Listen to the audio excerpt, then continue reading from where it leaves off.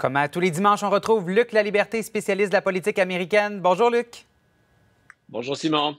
Grosse semaine hein, pour Joe Biden. Deux discours majeurs, notamment sur le plan international avec ce qui se passe entre Israël et le Hamas.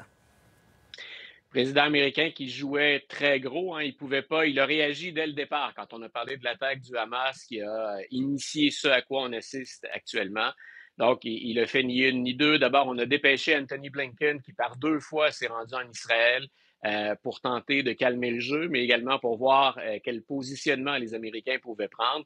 Puis ensuite, pour bien montrer tout le sérieux du soutien, mais de l'implication américaine, c'est Joe Biden qui a passé sept heures donc en, en Israël, pardon. Et dans ce sept heures-là, ben, il a prononcé un discours qui est à la fois dirigé ben, d'abord à la communauté internationale, d'abord aux partis impliqués, mais il ne doit pas non plus négliger le fait que chez lui, cette situation-là a également des échos, des retombées, puis euh, des, éléments qu'il aura à défendre euh, une fois de retour au pays. Quand il est euh, à Israël, donc, il a prononcé, je crois, pour avoir suivi Joe Biden depuis longtemps, un de ses meilleurs discours, sinon le meilleur discours que j'ai entendu prononcer par Joe Biden. il a une force, il a une qualité, Joe Biden, qui est celle de dégager de l'empathie. Euh, on l'a bien senti cette fois-là. Hein. Si on ne doute pas de son appui à Israël, on l'a bien entendu parler également aux Palestiniens. Donc, il n'a pas, bien sûr, il condamne le Hamas, mais en dissociant le Hamas de la Palestine. Mhm. Quand M. Biden est là, il pense aussi à la réaction des pays arabes qui sont autour. La raison pour laquelle on surveille autant le conflit israélo-palestinien, c'est bien entendu pour les retomber sur les deux joueurs, mais aussi parce qu'on risque d'embraser toute une région. Mais donc, euh, il a pris la peine, je crois, d'appuyer sur tous les bons boutons, de mentionner tous les bons éléments dans son discours. Reste à voir maintenant est-ce que Joe Biden et les États-Unis ont encore suffisamment d'influence et de poids sur la scène internationale pour être en mesure à eux seuls euh, de jouer le rôle qu'ils ont si longtemps joué sur la scène internationale, un peu de gendarme en hein, quelque part, ou de préserver l'équilibre ou de préserver l'ordre mondial tel qu'on le connaît depuis la Deuxième Guerre mondiale. Ce n'est plus la même donne en 2023, mais donc attendons de voir maintenant ce que Biden euh, aura eu comme effet. Une des choses que M. Biden ne contrôle pas, c'est le terrain, c'est la rue. Et on sait que depuis euh, les incidents impliquant le Hamas et la réplique israélienne, ben, on est descendu dans la rue dans plusieurs pays. Donc, c'est ce qu'il fait quand il est en Israël. Je pense difficile d'imaginer un meilleur discours dans les circonstances. Ce qu'on va l'écouter, c'est une chose. Euh, maintenant, de retour chez lui, dès le lendemain, le soir, il prononce, et c'est rare qu'il le fait, donc il prononce un discours à partir du bureau ovale. Et cette fois-là, c'est à ses concitoyens qu'il s'adresse. Et encore une fois, il a tenté de faire valoir, bien sûr, la nécessité pour les Américains d'intervenir, d'intervenir aux côtés d'Israël. Euh, il a en même temps, encore une fois, joué d'empathie en disant, ben, euh, les Palestiniens ne sont pas le Hamas.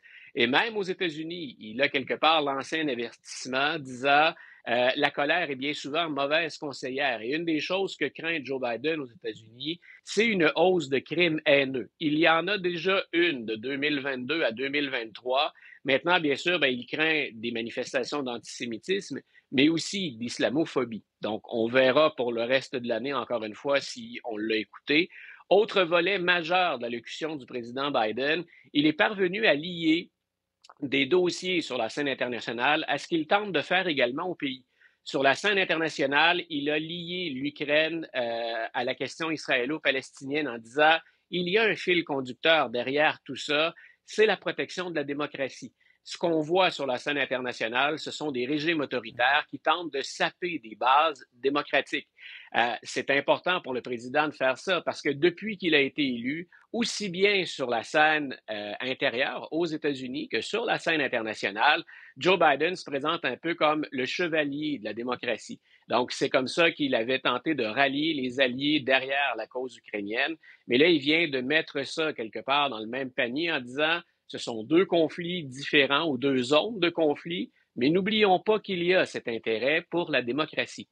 Là où ça revêt encore un caractère plus important, c'est et là on a un chiffre maintenant. Il l'a pas dit le soir de l'allocution, mais l'administration Biden demande rien de moins que 106 milliards de dollars supplémentaires euh, au Congrès américain. Le président peut avoir des demandes budgétaires, mais bien sûr, il doit compter sur l'appui du Congrès pour qu'on développe, euh, pour, oui, pour qu'on développe finalement les, les, enveloppes budgétaires.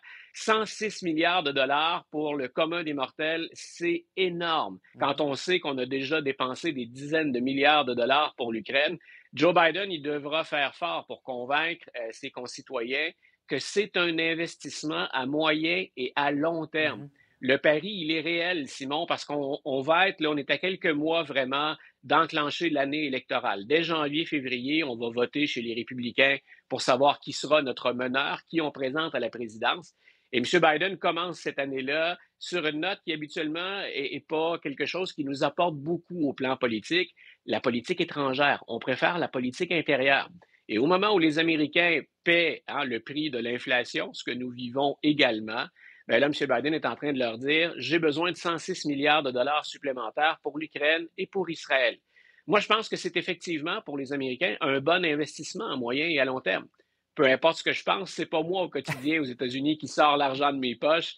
Donc, euh, j'ai hâte de voir quelle réception il va avoir. Le seul appui qu'il ait, mais c'est majeur jusqu'à maintenant, c'est que Mitch McConnell, le meneur républicain du Sénat, pense la même chose que lui. Et justement, on parlait d'année électorale qui s'en vient. Parlons du rival, Donald Trump, maintenant, qui lui aussi, comme Joe Biden, a une grosse semaine, mais peut-être pas pour les mêmes raisons. Non, voilà, puis ça se résume assez simplement hein, pour, euh, pour M. Biden d'abord, puis on pourra peut-être en reparler s'il reste du temps. Son candidat pour être Speaker à la Chambre des représentants a été défait, puis de façon assez euh, humiliante, Jim Jordan. Sinon, quand on regarde ce qui se passe pour lui côté judiciaire, on a toujours quatre procès hein, contre un ancien président. À New York, il s'est fait imposer un baillon parce qu'il critique des membres de l'équipe hein, qui, qui, mène le procès ou encore le juge lui-même. Donc, on lui a imposé un baillon qu'il a défié, puis on lui a imposé une sanction en, en lui rappelant, M. Trump, ça peut aller jusqu'à la prison. Ce qui est plus inquiétant, c'est ce qui se passe en Georgie. Donc, là où on a essayé d'interférer avec l'officialisation des résultats. Euh, on en est maintenant à trois. Il y en a eu deux cette semaine. Trois des 19 accusés qui ont plaidé coupables. Et ce qui devrait inquiéter l'équipe de M. Trump tout particulièrement cette semaine, c'est qu'il y a une avocate et un avocat de M. Trump qui ont plaidé coupables et qui ont obtenu des charges réduites qui vont, et c'est grave ce qu'on a fait, le choisir ou nommer, tenter de remplacer les grands électeurs pour renverser le vote, c'est gros ce qu'on a fait. Euh, ben, ils iront même pas en prison. Et ce qu'on a dit au moment d'enregistrer ce plaidoyer, c'est qu'ils ont des peines ou des sanctions réduites parce qu'ils collaborent maintenant à l'enquête. Euh, pour M. Trump, c'est une très, très, très mauvaise nouvelle. Donc, il reste encore 16 autres accusés, mais le plus gros joueur là-dedans, bien sûr, c'est Donald Trump. Alors, si je suis un des avocats qui reste à Donald Trump, ou si je suis Donald Trump, je suis très inquiet au moment où on se parle.